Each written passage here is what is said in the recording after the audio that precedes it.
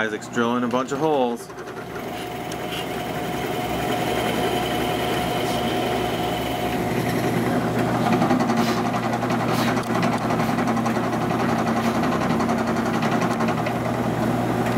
Good job, buddy. We're making all our tic-tac-toe.